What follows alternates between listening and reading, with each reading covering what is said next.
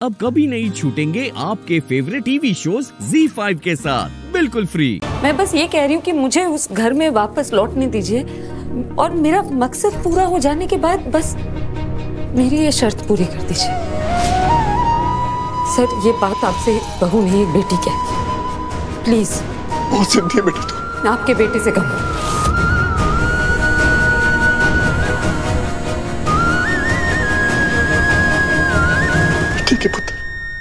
जैसा तू ठीक समझे थैंक यू सर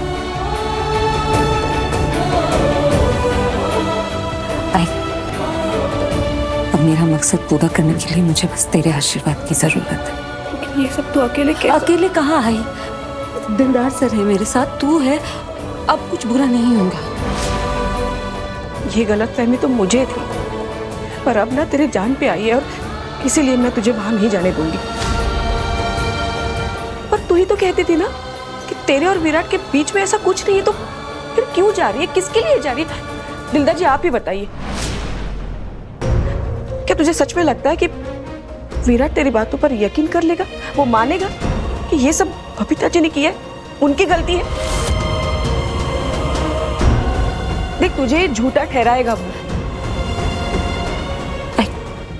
एक बार सोच के देखना, अगर कोई कोई अगर मुझसे तेरे बारे में आकर कुछ गलत कहेगा तो मैं यकीन कर लूँगी क्या? नहीं करूँगी ना क्योंकि माँ और बच्चे का रिश्ता ही ऐसा होता है ना। विश्वास से बंधा होता है ना बस, अगर वो विश्वास, अंधविश्वास में बदल जाए तो तो गलत हो जाता है और उसकी कीमत हर उस इंसान को चुकानी पड़ती है जो आपकी ज़िंदगी से जुड़ा होता है। विराट सर और मेरे केस में यही हुआ।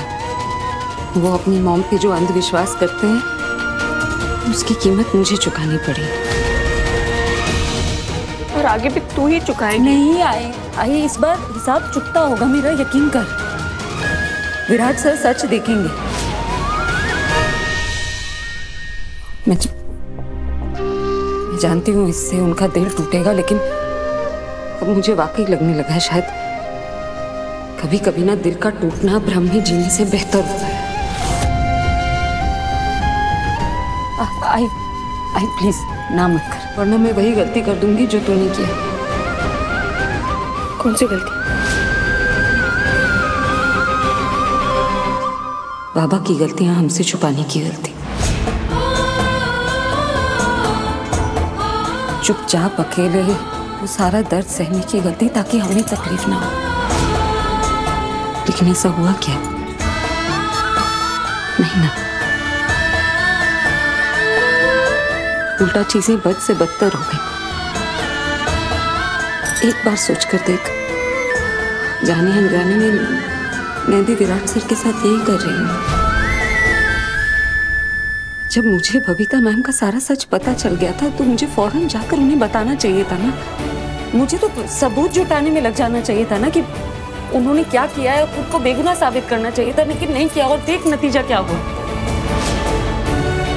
बबीता मैम, प्रियंका को वापस विराट सर की ज़िंदगी में वो वो नहीं समझ पा रही, वो नहीं समझ पा रही है कि वो वो प्रियंका, वो लड़की बहुत शातिर है। तूने देखा ना, उसे अपनी गलती का एहसास भी नहीं है।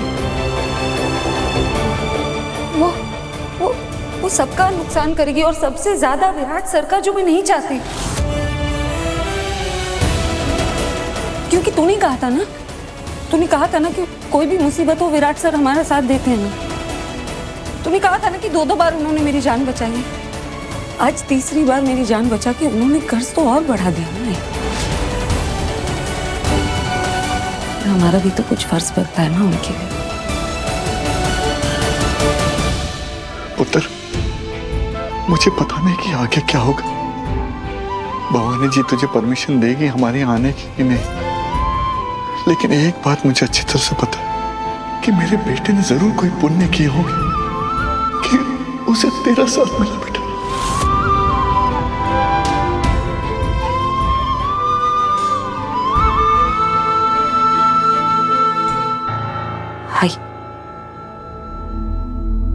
तू बता तेरा फैसला क्या है? क्योंकि तू हाँ नहीं कहेगी ना तो मैं वापस नहीं जा पाऊँगी। अमू बात मेरे हाँ या ना की नहीं है। अगर तू विराट के सामने बबीता जी का सच लाने में कामयाब भी हो गई ना तो भी वो तुझसे नफरत करना नहीं छोड़ेगा। और फिर ये सब करके तुझे क्या मिलने वाला है? इंसाफ। मुझे सुकून मिलेगा मैं अपनी बेगुनाही साबित करके उन सारे इल्जामों से बरी हो जाऊँगी विराट सर, चाह के बिना मुझ पर भरोसा नहीं कर पाते, क्योंकि उन्हें लगता है मैंने मैंने उनकी मोम को मारने की कोशिश की। आई बहुत ज़रूरी है कि विराट सर को सच पता चले। ज़रूरी है कि बबीता मैम को अपनी गलती का एहसास हो। उन्हें एहसास हो कि प्रियंका को वापस विराट सर की ज़िंदगी में लाकर वो वो कुछ अच्छा नहीं कर रही। उल्टा विराट सर को बर्बादी की ओर ढकेल रही।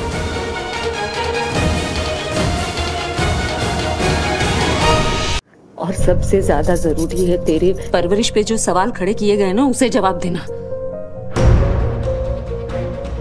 और ये सब तभी हो पाएगा जब मैं झूठ का पर्दाफाश करूँगी। जब मैं सबके सामने ये साबित करूँगी कि मैंने बबीता मैम को उस ट्रक के आगे धक्का नहीं मारा था। मुझे आहूजा हाउस वापस जाना होगा। प्लीज़ जाने दे मुझे।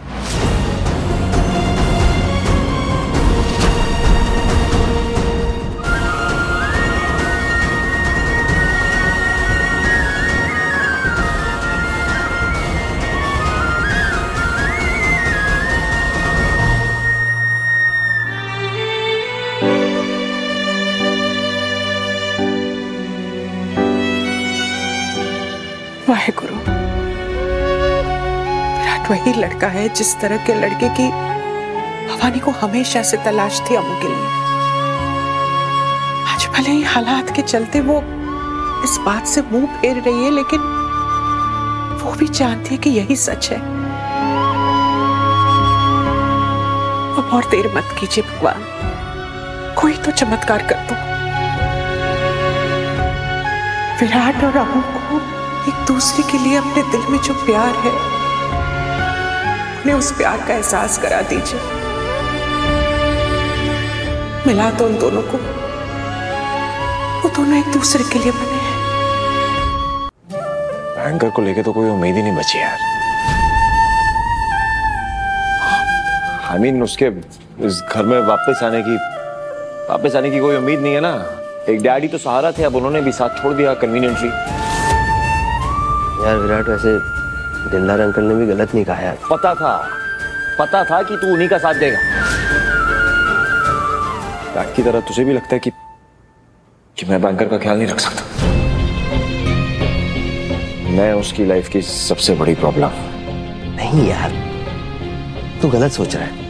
Z5 ऐप डाउनलोड करें और देखें सारे एपिसोड्स बिल्कुल फ्री